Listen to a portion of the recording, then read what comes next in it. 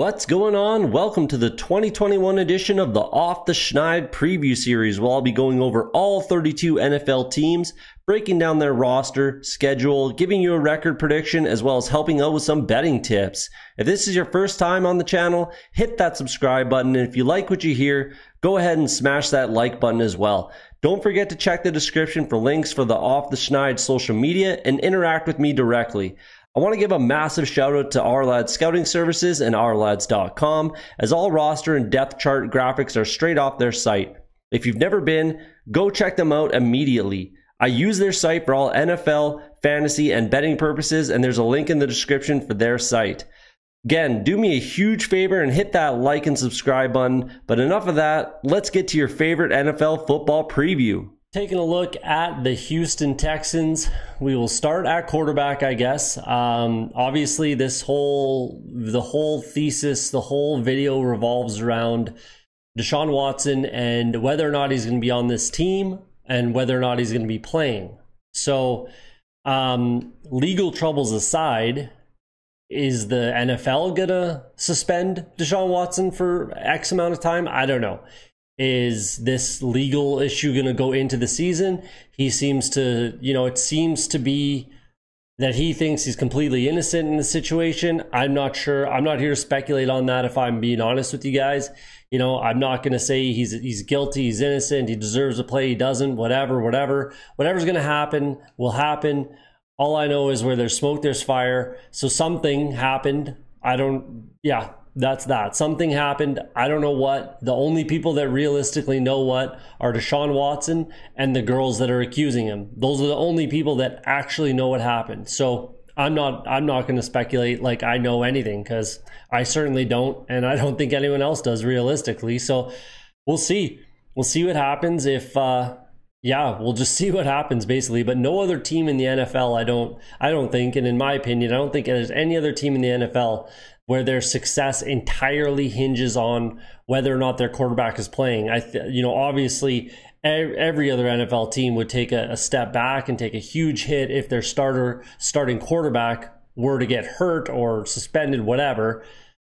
I don't think there's any other team like the Texans that completely rely on you know their quarterback. Um, this is actually not a horrible team in my opinion with Deshaun Watson. Without they're god awful and probably the worst team in the league. So um, it's going to be an interesting one. They obviously brought in Tyrod Taylor and Jeff Driskel and drafted uh, Davis Mills in the third round. He was their first selection in the 2021 NFL draft. So we'll see. Realistically, I, I entirely expect if if you want predictions and what I expect to happen, I don't I don't know what's going to happen with Deshaun Watson, but I don't particularly believe that he plays for this team again. Um, I just think too much has happened. He already wanted out, along with the legal issues. Just just get wash your hands with the situation. That's what I would do as a as a Texans, you know, front office. And they just turned over the whole uh, general manager, coaching staff, everything. Obviously, Bill O'Brien is finally gone, so Texans fans are you know clear from the clutches of Bill O'Brien, which is, you know, very, very, very, very welcome, I think, in everybody's opinion. But um, I expect Tyrod Taylor to start the season. I expect Davis Mills to finish the season. I think that you got to give the kid a shot at some point throughout.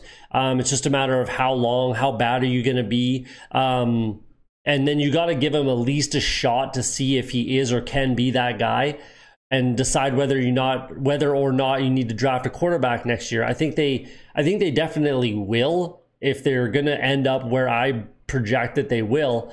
Um, chances are pretty high unless there's you know not some high uh, high end quarterback talent in next year's draft. I haven't looked hard enough, if I'm being honest with you, to to see what talent is out there besides like Spencer Rattler, Aaron Howell, stuff like that. But either way, they need to decide whether or not they're drafting a quarterback. So we'll see. I expect Davis Mills to get a shot. Uh, move to the running back position. David Johnson still there. Obviously, one of the worst trades I've probably ever seen. But either way, David Johnson is still there. They bring in Mark Ingram, Phillip Lindsay, Rex Burkhead.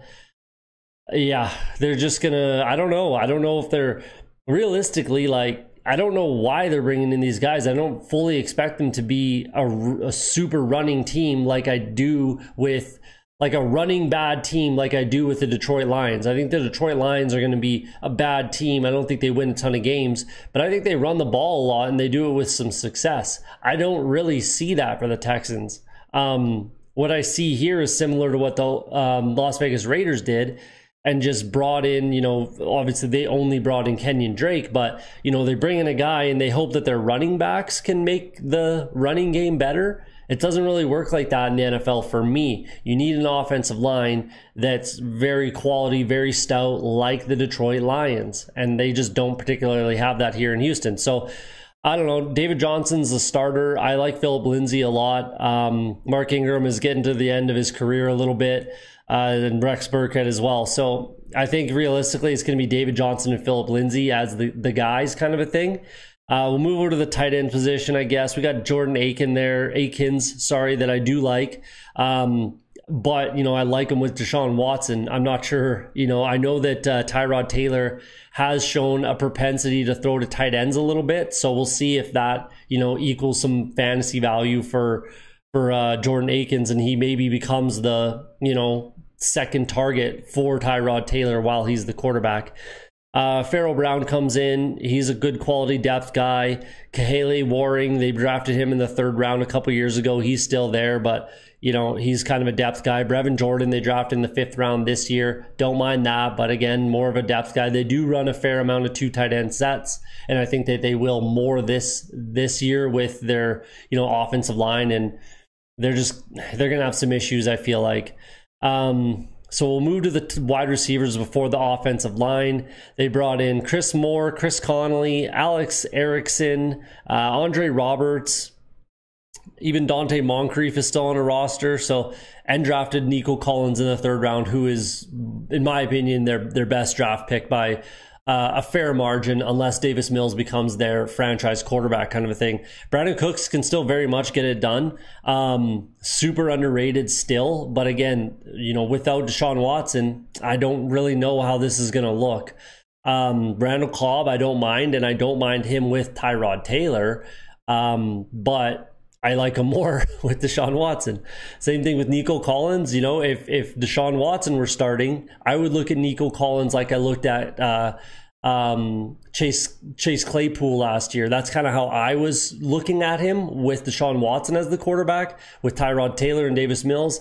I don't hold him in that high a regard. So we'll see. But long term, I do like Nico Collins a lot. And realistically, if they could have uh, Brandin Cooks and Nico Collins, you know, basically be their guys for the future. I don't know if Randall Cobb's going to be there for too much longer, but that's a pretty good start. That's a pretty good start. And that's, you know, the silver lining for this team is going to be that they're that they're trying. So, I know that's kind of funny, but like you know that's that's the silver lining is they're trying their best and and the gm you know head coach everyone's going to try their best to you know do what they can and earn a roster spot for next year whether or not deshaun watson's around i'm not sure but that's kind of what it what it is for me um Keke Coutee still there. Isaiah Coulter didn't really play last year as a fifth round pick, even when they were super wide receiver needy. He didn't even really play, which was crazy to me and I don't know. I don't see. I I see that probably continuing. You know, bringing in Chris Moore, Chris Conley, some solid vets, and you know, drafting a guy in the third round, Andre Roberts. I don't see Coulter getting a ton of playing time this year, to be honest. So that was a weird draft pick. I didn't mind it, and I still don't mind it if he gets a shot to play. But we'll see. Um, move to the offensive line now. Uh, it's besides Laremy Tunsil they're not in a great spot, but they've they've done what they can, you know, to bring in NFL players to fill holes to try to compete as best they can. You know, that's literally what it is. Tytus Howard and Max Scharping, absolutely, it would be fantastic if those two guys could take the next step this year. The first and second round pick in 2019 for this team, they absolutely have to take that step and be, you know, mainstays on this offensive line. They have to do it. If not, it's going to be a very, very rough time. Um, Charlie Heck, a fourth round pick last year, he's not, I, I don't mind him. He's got to get a shot, and he might get that shot if, you know, Tytus Howard doesn't work out. Marcus Cannon's there as a solid vet, you know, moving him inside. He used, he can play right tackle. Um, Justin Britt, but he didn't play last year from what I recall. And, uh, he's getting older. I'm not super, you know, I'm not jumping up and down about Justin Britt. Justin McCray, they brought in him again. I'm not super excited about that. Roderick Johnson, I don't mind that pickup.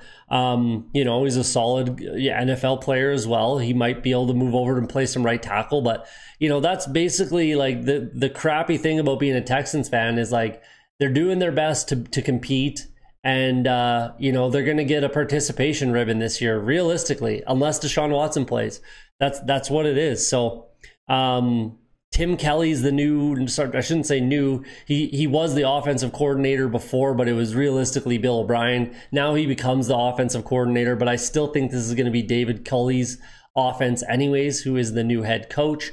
And it's really a strange situation. David Culley, I think, is 65 years old. Lovie Smith, very old school, 62 years old. And then Tim Kelly is younger than me.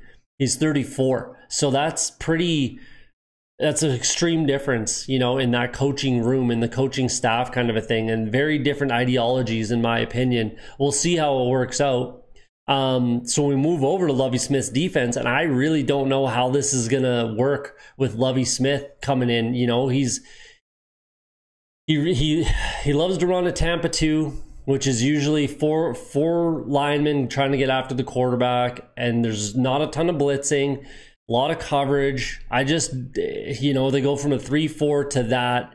You know, I just don't particularly see this working out. Not that I don't mind the pieces and some of the pieces that they have on defense. I just honestly feel like Lovie Smith needs to, you know, he needs to adapt a little bit more if he wants to be successful as, a, as a defensive coordinator in the NFL. That's just how I see it. Maybe I'm going to be completely wrong, and maybe Texans fans are going to hate me for saying that, but that's just how I see it. They do have some good pieces, like I said. Um, Charles Omenihu I like that a lot. He was a steal in the fifth round. I think he could take a he could take a big step forward this year. I think that you know he's a piece for the future. I definitely really like him. Uh, Ross Blacklock was the only thing that kept me from giving this team an F grade in two years ago. You know, two year two drafts ago, right? Um, he was terrible last year. He was really not very good. He absolutely has to be better this year. I'm not saying he has to be some sort of world beater, Pro Bowl, or anything like that, but he has to be better. Um, Maliek Collins comes in. I like Maliek Collins. Demarcus Walker, I don't mind at all. He comes in from the Denver Broncos. Uh, Whitney Mercilus is still there. Jordan Jenkins comes in. Neville Hewitt comes in. Zach Cunningham uh, was very good last year. Very, very good. And he's going to need to be just as good this year. Um, Kamu Grugier Hill comes in, Kevin Pierre Louis comes in, Christian Kirksey comes in, Joe Thomas comes in. They just brought in anyone and everyone realistically that you know is kind of after a job in the NFL, right? It, uh, you know, if you're an experienced veteran NFL player, come to Houston and you can play on defense for sure. Um, Shaq Lawson's there. I, I was a huge fan of Shaq Lawson coming out of the draft. He didn't really take that step realistically. And, uh, you know, this is going to be a big year for him. He could, you know, if this defense is going to work for Lovie Smith, Shaq Lawson needs to be huge for this team. You know, Whitney Mercilus can play that role. Shaq Lawson can play that role. Charles Omenihu can play that role. Maliek Collins, Blacklock, they can make it work. I'm just not so sure that it does. So we'll see. We'll see what happens. Um, move back to the secondary. Uh, Vernon Hargreaves is there, you know, a guy that uh, a former first round pick that the Tampa Bay Buccaneers kind of gave up on. I don't mind taking a shot on a guy like that. Terrace, Terrence Mitchell comes in. Don't mind him as a depth guy. Bradley Roby can still get the job d- done. I don't mind him. Uh, Desmond King the second, he comes in. I don't mind him. They paid a bunch of money to Eric Murray. He's got to earn that money. Um, Lonnie Johnson, Justin Reid, you know, Sure, these it's all right. This defense is all right. Like I said, they've done the best they can, considering no free agent wants to come to Houston. No free agent would want to come here. I think it might get more attractive now that Bill O'Brien's gone, and if they can get some pieces put together. Um, but realistically, this is a, a dumpster fire. This is the NFL's dumpster fire. That's not how you want to build your team, and they've had to because Bill O'Brien, O'Brien trades all their draft picks away um, they they've been just trying to build this team back up through free agency, and it's it's not going to work long term. I, I don't think, um, but we'll see. Realistically, they're going to need a, a, good draft next year. Maybe that's you know first overall. Maybe that's for a quarterback. We'll see what happens. But let's take a look at what I project them to do record wise in 2021. One win. That's what I'm projecting for the Houston Texans. If if Deshaun Watson isn't playing for this team, they're not going to win a ton of ball games. Realistically, like I have, the, obviously you can see it on the high side, four wins, and you know that would take a bit of a miracle if I'm being honest with you. Um, if Deshaun Watson is on this team for you know half the season, whatever, then you can kind of throw this out the window, and it doesn't really you know have too much effect on how this team is actually going to look and run and win and lose that kind of thing. Um, I just don't expect him to be on this team, even if he does play in the NFL. I know again, I don't particularly see him playing in the NFL at all this year. Just considering this whole situation, um, but if he does, I honestly don't even think it'll be for the Houston Texans. So we'll see. But you know, there is a potential that they don't win a single ball game this year. There, there really is. Um, I'm not going to go through the whole schedule. I'm going to make this pretty short and sweet, considering. I mean, you want me to just to say they're going to lose every single game because that I can do that. Um, I just uh, let's talk about the games that they can potentially win. Week one against Jacksonville at home. That's a potential game. They they're gonna have a shot. You know, if they can control the clock, you know, play it like a playoff game. Every game they're gonna have to play like a playoff game, but the winnable games especially. Just control the clock. That is essentially every, you know, game is I'm not gonna say it's their Super Bowl, but it kinda is. You know, like they're not gonna win. They're not gonna win very many games. That's just a fact. So week one against Jacksonville at home, fans in the stands. At least that game will be packed. It'll, it'll probably be sold out every game regardless because it's football. But um, that's potentially a winnable game with a rookie quarterback in his first game. I don't think they win that game if I'm being honest, but that's a game that's a possibility to win. There you go. Um, week three against Carolina again at home. Still don't like them uh, to win, but it is a short week. Short week at home. You know, another, you know, quarterback that we're not really sure what's going on there. They're not the best team in the league. They're also not the worst. Again, I don't expect, I give them a better shot to beat Jacksonville than I do against Carolina, if I'm being honest. But it's possible. It's possible, you know, a possible win there. Um, uh, none till their bye. bye week 10, sure, whatever. It doesn't matter when their bye week is with this team. They're not going to do anything.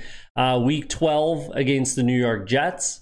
That's a game that has potential. You know, again, another rookie quarterback. It's at home. You got a shot to win that game. Um, I give them, that's probably the game I give them the best chance at winning is against the New York Jets at home in week 12 after their bye, after they get you know pumped by the by the Tennessee Titans on the road, they come home, maybe can squeak out a win against the New York Jets. You know that's their best shot, and realistically, that's it. I mean, you know, maybe you could say the Jags on the road, I suppose, but realistically, that's it. Three games kind of tops. I think I was being super generous with the four and thirteen, if I'm being honest. And you know, if you're the Texans, you just want to lose every game. Like it really doesn't matter. Like be the be first overall. Tank for Rattler, whoever's going to be first overall. You know what I mean? Like you got to do it. This is a bad team. So it is what it is. I'm sorry to Texans fans, but you know Bill O'Brien put you guys in this position. Uh, potentially, you could say Deshaun Watson as well. But here we are um, with Deshaun Watson. This is potentially, you know, I'm, I don't know about a playoff team, but pushing it. They would definitely they would definitely contend like Deshaun Watson is that good that they would definitely contend for the playoffs if he were in the lineup. Um, but there it is. So short and sweet. Let me know what you think in the comments. But there is your team breakdown, roster, and record prediction for the 2021 Houston Texans.